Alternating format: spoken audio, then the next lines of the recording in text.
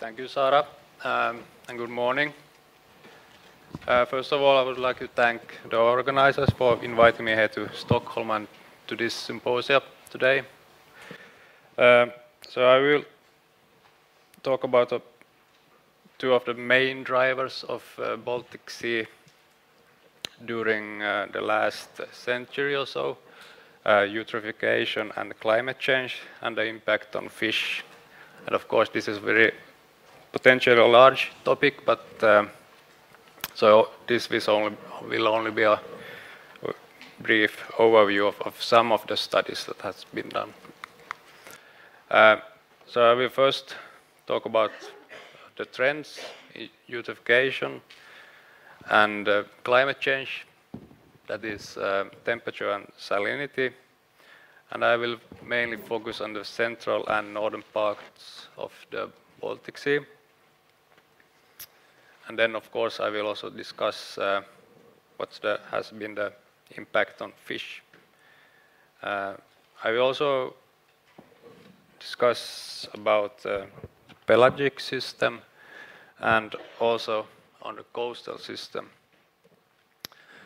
and how they are also connected. And finally, I will also talk a bit about some behavioral aspects of eutrophication. So, uh, Baltic Sea is a very eutrophied sea, as we all know.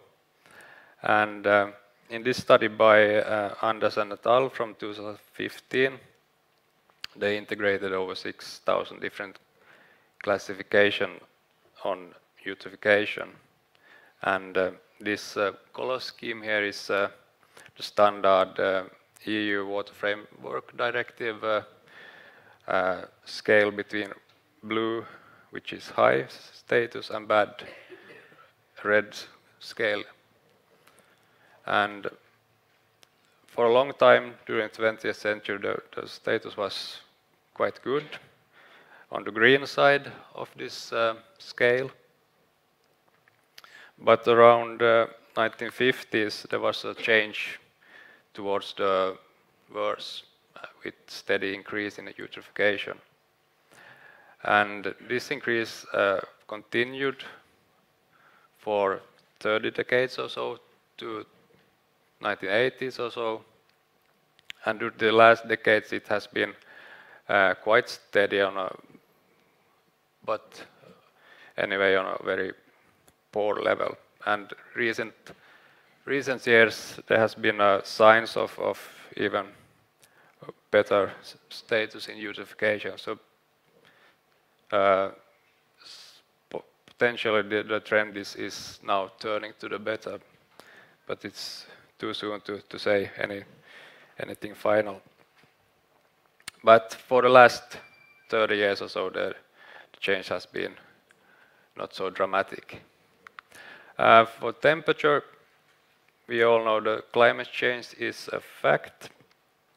This uh, figure shows the trend in, in uh, global oceans in general during the last 100 years or so. There's been a, a steady increase in, in global water temperature in the seas. And uh, in Baltic Sea, we can see that uh, also during the last 30 years or so, the increase has been very rapid, with an increase of around one and a half degrees or so. Of course, the, there was a, a clear dip in temperature in the 1980s, but anyhow, the increase is now very visual to see in this way. Uh, so, uh, how does fish respond to eutrophication? If you look at the 1950s, we can see a shift from, from the low levels of nutrients to more to higher levels, uh, which means that uh, there is more primary production, pelagic primary production uh, in the water, and also lower Secchi depth, poorer visual conditions in the sea. we also get uh, problems with lower oxygen content in the water, especially in the deep waters. And uh, so this is a general uh, effect of, of the eutrophication. Um, so if you look at the fish, you can see that uh, total catches in the Baltic Sea has increased uh, during the last uh, 60, 70 years. Um, depending on how you count, the total catch is today much higher. This is, of course, also depending on the changes in fisheries, but it's also could be linked to the higher production level of the sea as a whole.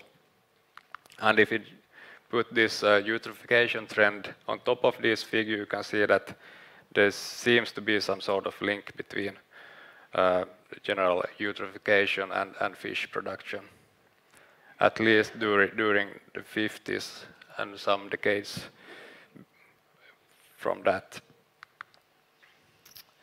Uh, so in this uh, recent study by Eero et al., uh, they ask if eutrophication has promoted forage fish production in the Baltic Sea.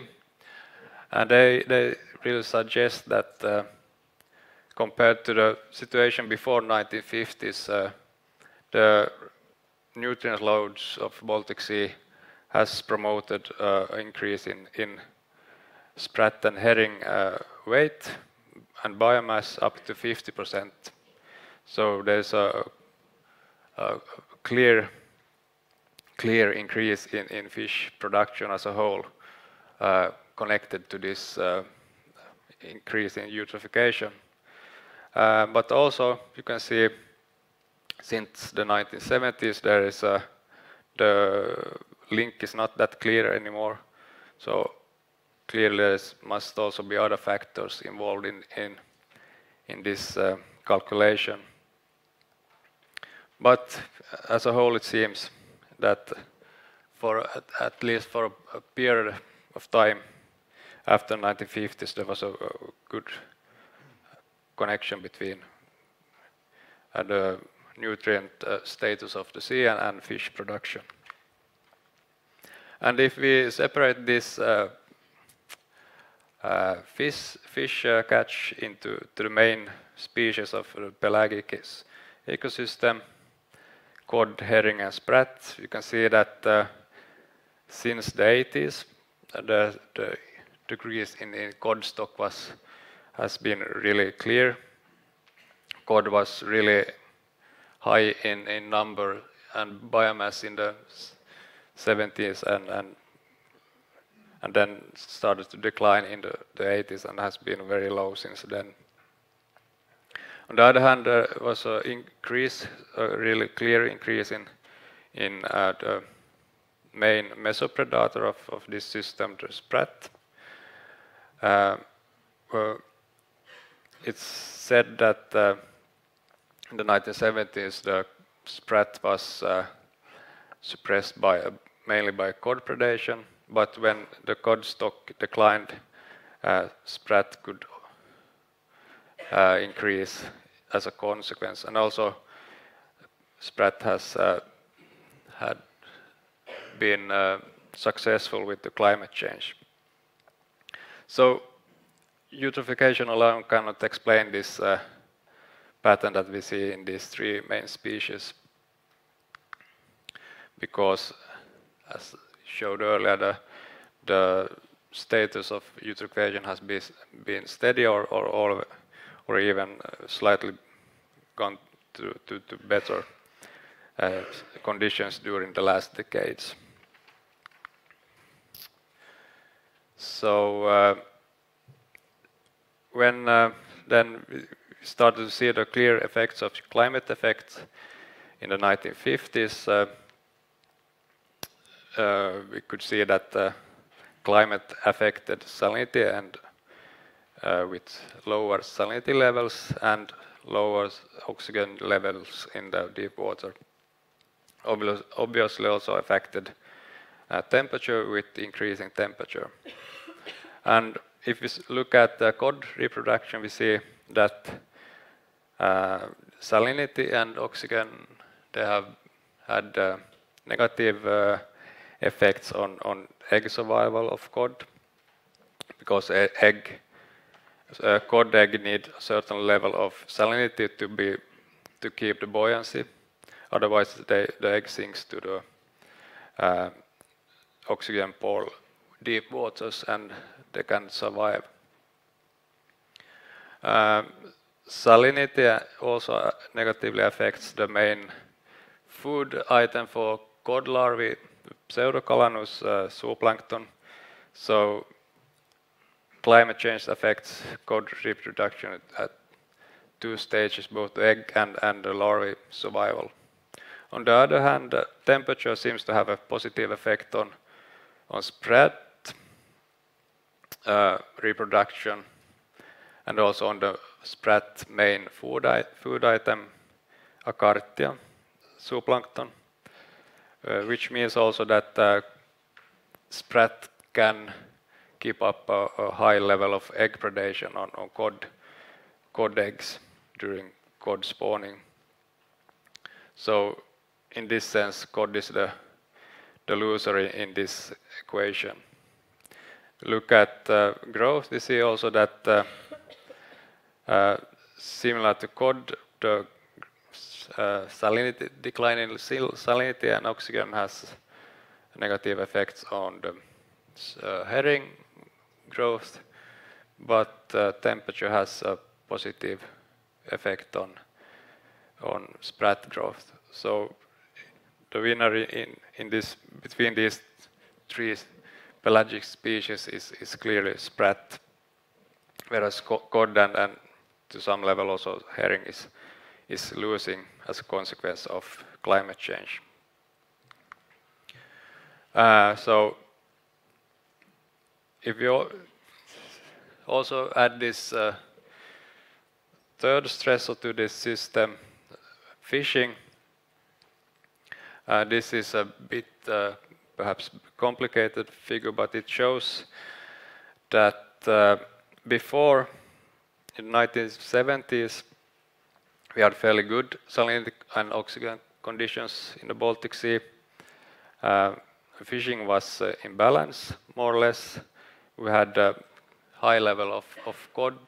The stock was in good condition.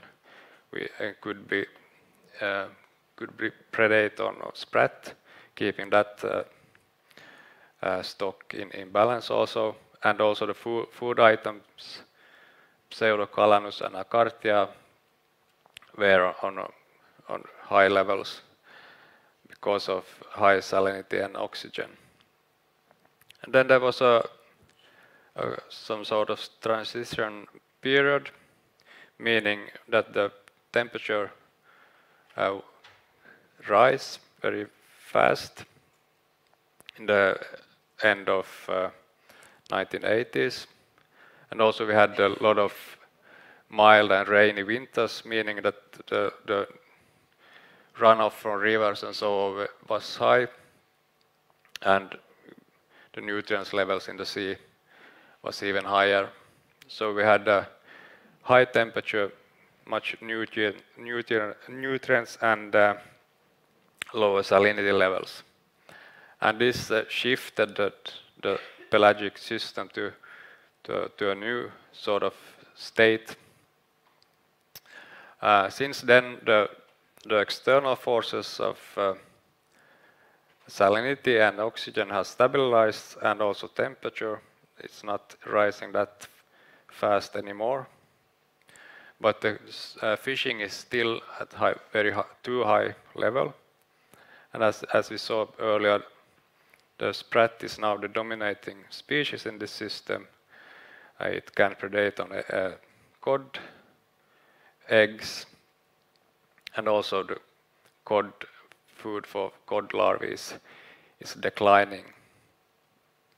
So we have a shifted from, from sort of a cod dominance to more of a spread, sprat dominance. Um, and this uh, it summarizes the, the whole. In the 1950s, we had the beginning of, of this clear anthropogenic uh, nutrient loading that meant more primary production, a lower Secchi depth and a more material to decompose in the deep waters. And we started to get problems with uh, less oxygen. On top of that, we have a cod fishery, uh, which means uh, fewer cod but more sprat. And if we then look into the 1980s, we have climate change now more present and, and getting more attention with more freshwater discharge from more rain, rainfall and from rivers and also few, fewer saline pulses from the from the south North Sea. Where the salinity levels declines and the, the marine species uh, are not doing very well. For example, the zooplankton species. So this means that uh, the food for the herring and sprat are not uh, that good anymore. The uh, food quality is, is getting worse as a whole.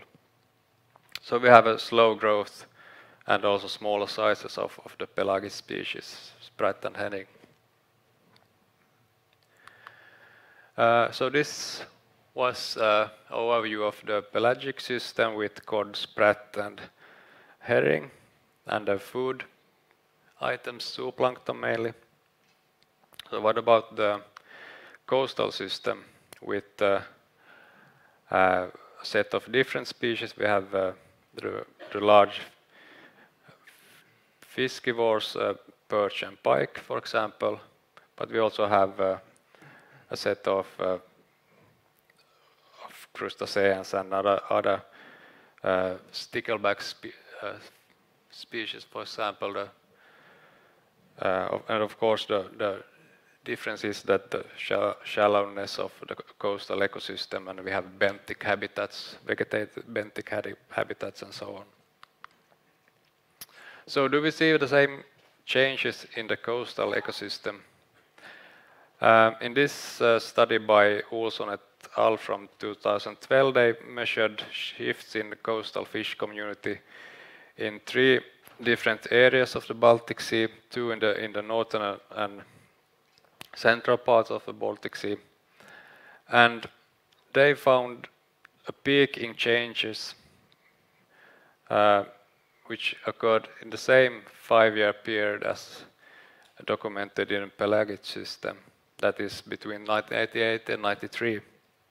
So there seems to be a uh, change also in this system, or changes uh, that occur, occurred at the same time, and also probably due to the same reason. Uh, these, these changes were mostly attributed to, to changes in salinity, temperature, and North Atlantic oscillation. So clearly some sort of climate influence here also. Otherwise, the number of changes were not that many or and more scattered over time. Uh, so in this study, uh, different project that I have been working in, we studied the effect of uh, eutrophication and climate change on coastal ecosystem, especially on, on benthic feeding fish and I prey, the zoobenthos. Uh, we had similar questions. What was the role of climate change and eutrophication? This uh, study was conducted on the Åland Islands where I work. Uh, so we used uh, two different data sets of, of fish monitoring uh, conducted by the Åland government and SLU. Uh, one uh, set from from 1983 and a more recent one uh, from 2002 which also include two different depth zones. Uh, so we can see that uh, in the longer time series we see a steady increase in the benthic feeding fish community, such as roach and perch. We also see a, a increase in uh, moderate increase in bottom temperature during fishing, and uh, as a whole a decrease in, in Secchi depth, uh, suggesting uh, eutrophication. Uh, so in the in the first part of the period, the, increase in, in fish community seemed to have been linked to the general increase in eutrophication or the lower Secchi depth that occurred during that time. But uh, it was negatively affected by, by temperature, especially during the more recent part of the period. Um, and this is even though both temperature and the abundance as a whole increased. And also we see a link between a warmer and a more turbid water. So this was a bit uh, confusing. We had more uh, increasing fish abundance and increasing fish uh, temperature, but they were not positively linked. Uh, so we, when we studied the second data set, more recent one from 2002, we saw that uh, the increase of fish abundance was uh, positively linked to temperature in the deep water between 6 and 20 meters, but not in the shallow water. So this uh, suggests that the fish are more occupying the deeper waters when the wa water gets warmer. And also we, we analyzed the, the, the food item, items for fish, zoobenthos in deep water, um, only six, five stations in, in the same fishing area as the fishing area. Uh, overall, we could see a decline in, in the zoobenthos biomass, and this was uh, quite clearly linked to the, to, to the overall decline in salinity that began in the early 2000 in this area.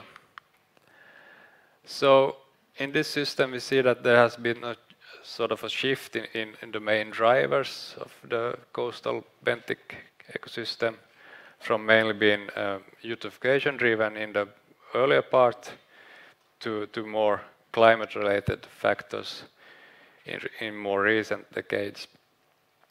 And also that uh, temperature seems to uh, facilitate the use of deeper waters for many coastal fish species so that they can move, move into deeper waters and, and feed uh, on, on zoobenthos, for example. Of, course, this may have consequences for the coastal food web when uh, the deeper parts of the coastal system is also used by this more shallow water species. Uh, so what about the mesopredators in, in the coastal ecosystem? We have, for example, sprat in the pelagic system, and also new new player in this system is the sticklebacks, which has uh, increased quite clearly during the last 10 years or so. Sticklebacks uh, migrate between the open pelagic system in the winter and return back to coastal waters in the spring to, to spawn. So we have an increase both in the pelagic system, but also the same uh, increase is seen in the, in the coastal system in spring with a clear, clear higher abundance during the last uh, 10 years. And also that this same study by Bergström et al.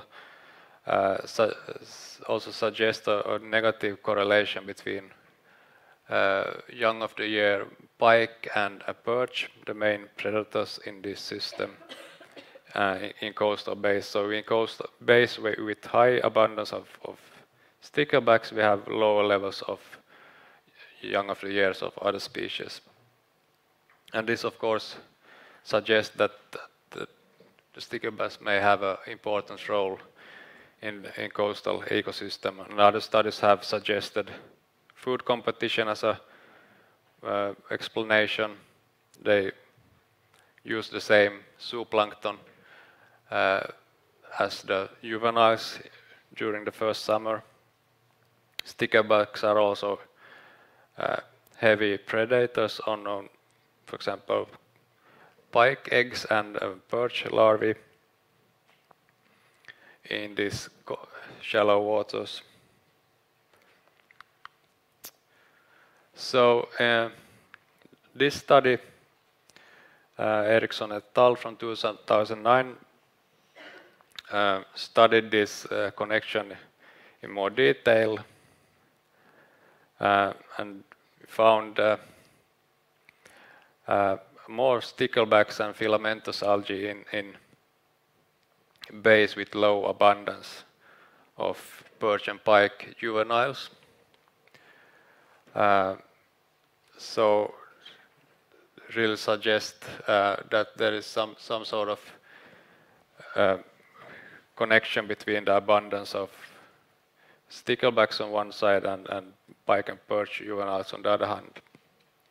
And also, uh, juvenile of pike and perch is also a quite good proxy for, for, for the abundance of adults of, of these species, which then again are the main predators of sticklebacks in, in this coastal system. Uh, so the same study also suggests that uh, adult perch mainly has the potential to, to control filamentous algae and this is by regulating the mesopredators or the stickleback. Uh, this is because uh, if uh, there are plenty of adult perch, they can uh, predate on sticklebacks and other small bodied fish so that they don't eat too much of uh, crustacean grazers that in turn keep the levels of filamentous algae on a low level. But if we take, uh, for example, the perch out of this system, we get higher number of, of sticklebacks that uh, eat the grazers, so the filamentous algae can be overgrowing in these shallow bays, for example. Uh, so, so far I've been talking about the pelagic system and also the more coastal shallow waters, vegetated systems, and nursery areas for fish. And this finally, we'll briefly talk about some behavioral consequences of eutrophication, how prey uh, choose their refuge uh, in different waters with different uh, visual conditions.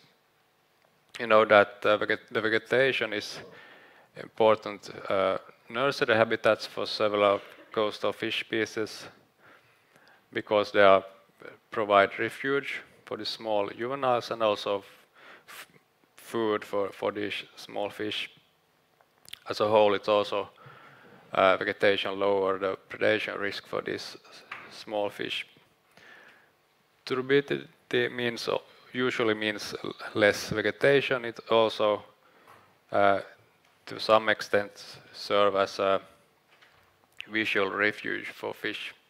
So um, if you combine these two factors, the potential to, to have some uh, effects on the predator-prey interactions, for example. So this is a experimental setup of this study that we allowed uh, 10 perch to, to freely choose between an open habitat and a vegetated habitat uh, in front and in presence or, or absence of a potential predator, small pike, which only was in, in visual and olfactory con contact with the prey behind a, a sealed ceiling.